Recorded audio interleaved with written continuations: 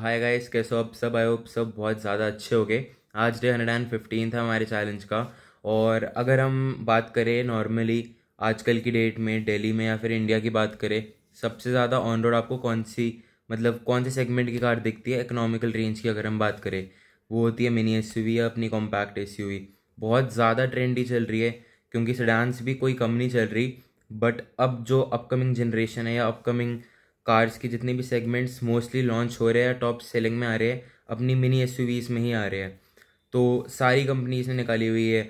आप बात कर सकते हो किया सेल्टा सोनेट वेन्यू क्रेटा अपनी कुशाक हो गई टाइगून मतलब सबकी सेल्स बहुत अच्छी हो रही है।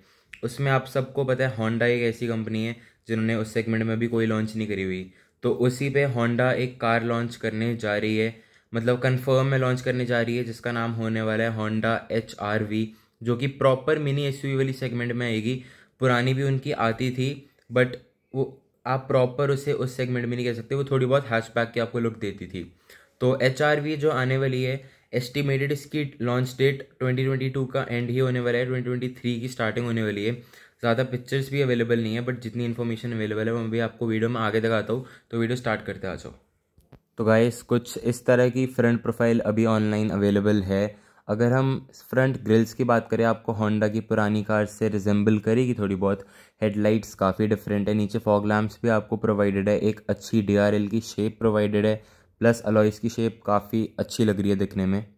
अभी आपको ज़्यादा पिक्चर्स ऑनलाइन दिखेगी ही नहीं इस कार पे एंड आपके सामने आर्टिकल भी है जिसमें लिखा हुआ है Honda is soon bringing the much talked Honda H two the Indian market और जो कि रिपोर्टेड SUV है फाइव सीटर इसमें लिखा हुआ है ट्वेंटी ट्वेंटी थ्री होगी एक्सपेक्टेड लॉन्च बट कोई बड़ी बात नहीं ट्वेंटी ट्वेंटी टू के एंड में भी लॉन्च करते अब अगर हम इसकी व्हील बेस की बात करें तो twenty six ten M M का आपको व्हील बेस मिलेगा और ground clearance one eighty M M की मिलेगी। सेम प्लेटफॉर्म पे बेस्ड होगी जो हमारी होंडा जैज़ और होंडा सिटी बेस्ड होती है।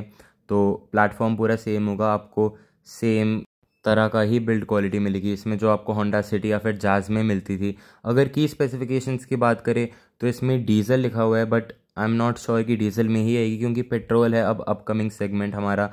और इलेक्ट्रिक के बाद पेट्रोल बहुत ज़्यादा चल रहा है और बहुत सारी कंपनीज़ डीजल डिसकंटिन्यू भी कर रही है।